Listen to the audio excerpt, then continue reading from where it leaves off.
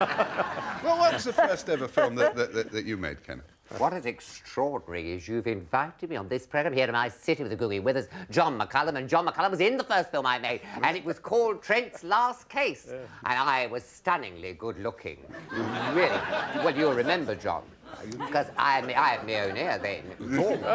What did you play in it? I played this Welsh boy who was a gardener who found the body of Orson Welles murdered by, as it turned out, Miles Madison. And you had to address me in court, didn't you? Yeah.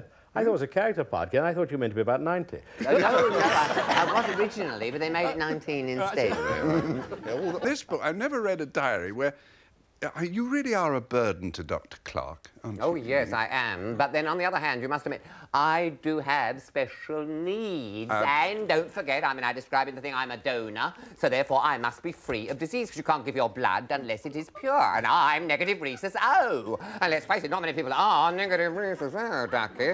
I mean, yeah, when but I was just called the same, up... you're, about the only person I've ever met who has an annual checkup every three weeks. Yes.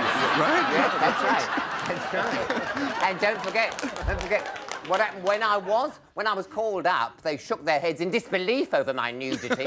and, and, one man said, oh, for heaven's sake, man, pull the stomach round to the front. listen, Kenneth, Kenneth, for somebody, somebody with, with a preoccupation about his health, are, are there any family tips or rules or regulations on health, which you live by now. I think I, I, know that I do. Things that we all believed in the 30s and 40s were good for you or bad for you, that that you all still stay respect. With me. Yes, yeah. they stay with me. We're always told, "Have you opened your bowels?" Always, always we were asked that.